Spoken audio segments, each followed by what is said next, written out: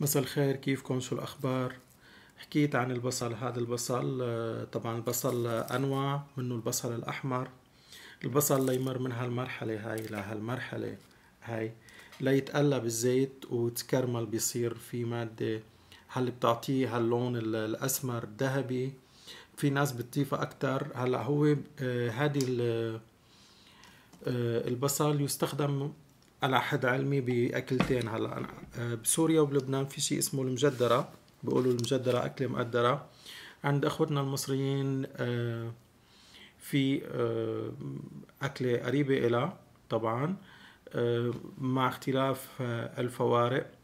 هلا المجدرة هي مؤلفة من البرغل البرغل هو القمح المسلوق بعدين بيتنشف بيتجفف بعدين بينطحن.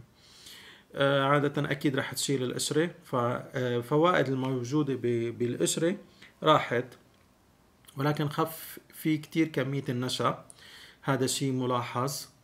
آه، بالمقابل بالمقابل طبعا مع بينحط البرغل طبعا وبيتقلى قبله عدس أو بينسلق قبله عدس العدس البني طبعا ومكونات المجدرة هي العدس وطبعا زيت الزيتون أكيد بدون حنضاف آخر شيء.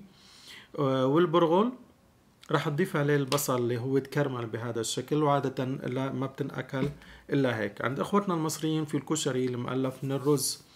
الرز آه، آه، بالمجمل عند الناس اللي عندهم تحسس للجلوتين اللي عندهم داء زلاقي في منهم ياكلوا أكيد الرز ما فيهم ياكلوا البرغل هي ملاحظة كتير مهمة. هلأ الجلوتين موجود بالقمح وبالشيلم وبالشعير وبالشوفان غير موجود بالرز والذرة والتابيوكا والبطاطا. هلأ آه، كبرغل هو القمح اذا آه، ممنوع عند الناس اللي عندهم داء زلاقي celiac disease بالمقابل بالمقابل الرز ممكن ياكلوه اللي عندهم داء زلاقي. تمام؟ هذه أحد الفوارق بين الأكلتين. هلا مين بينصح الرز أكثر ولا البرغل؟ آه، البرغل لما عم ينسلق عم تشيل جزء كتير من النشا الموجود فهذا بيتخلى من هالناحية يتفوق على الأرز من ناحية النصح. في ناس بيقولوا الخبز الحاف بعرض الكتاف. هي مو دايما الخبز خصوصا إذا كان من القمح لأنه يحتوي على الجلوتين. آه، إضافة لشيء تاني إنه القمح لما أو الخبز لما بينعمل ليش بينصح؟ لأنه في مادة الخميرة اللي بيسموها يمكن الخميرة الفورية؟ خميرة البيرة خميرة البيرة. آه، بالمقابل آه، المعكرونة الموجودة بالكشري أكيد هي وخصوصا إذا كانت مصنوعة من القمح فهي غير فهي ممنوعة. إذا كانت مصنوعة من مواد تانية فهي بتنصح أكثر لأنه فيها آه شو فيها؟ فيها كمان الخميرة لأنه مصنعة. اذا أي مادة فيها الخميرة خميرة البيرة. خميرة البيرة إذا أخذت قبل الأكل بساعة أو بعد الأكل بساعتين فهي بتنحف.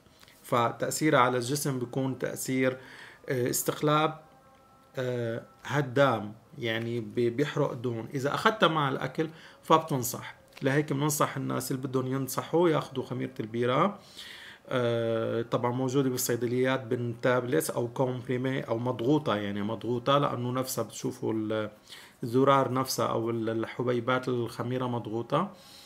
هذا الشيء بخفف طعمتها لأنه طعمتها آه، مزعجة أحيانا ممكن تأخذوها.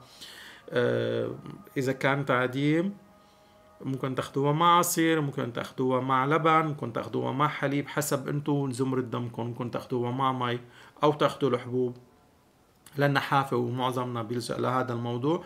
فأما قبل الأكل بساعة أو بعد الأكل بساعتين. إذا بالنسبة للمجدرة لما منضيف نحن البصل المقلب اللي صار أخذ بهذا اللون أخذ بهذا اللون تكرمل فأكيد نحن آه، رح نزيد فاعلية اللاكتينات الموجودة بالبصل. البصل له فوائد كتيرة منقي للدم آه، للشعر للبشرة آه، للجهاز القلبي الوعائي ولكن بالمقابل لما بتاكلوا هالأكلة فانتو بتزيد كمية ال lectins. اللاكتينات حكيت عنها هي آه، من قبل هي مواد بتتشكل من جسمنا من الأكل آه، بالمجمل من الأكل اللي بناكله. آه، إما بتكون لاكتينات مفيدة أو إما بتكون لاكتينات ضارة ولكن معظمها بالمجمل. لما بنسمي اسم لاكتين فهو معنى ضار بالمجمل ممكن يسبب التصاق للكريات بأشكالها ممكن يسبب الكريات الحمر التصاق الكريات البيض وهذا أحد النظريات عن تشكل الجلطات وممكن يشكل التصاق للخلايا وبيعمل سرطانات. فبالمجمل البصل لما نحن عم نكرمله بهذه الطريقة فبعده بتقل كمية الكراميل هذا اللون اللي بيطلع مثل السكر المحروق كمية السكر بتتضاعف هذا الشكل من السكر رح يؤدي إلى السمنة وزيادة الوزن مو بس لأنه موجود في زيت.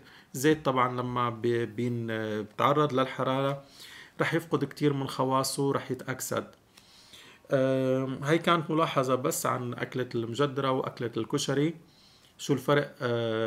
أو وين فينا نقول؟ ما فينا نقول هاي مفيدة أكثر أو هاي مفيدة أكثر كل شيء له مزايا حسب التركيب الموجود فيه طبعا ل الناس اللي بيفيدهم طبعا مثلا زمرة أو بدها تاخد قمح. شو بنقول بهذا الموضوع؟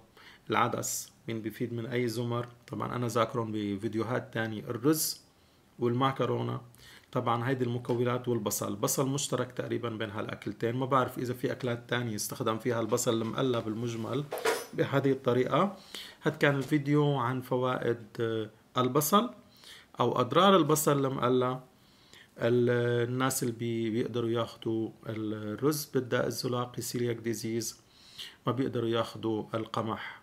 تمام؟ هاد كان الفيديو. ان الفيديو اعملوا like share subscribe فعلوا زر الجرس. كان معكم دكتور باسم. سلام.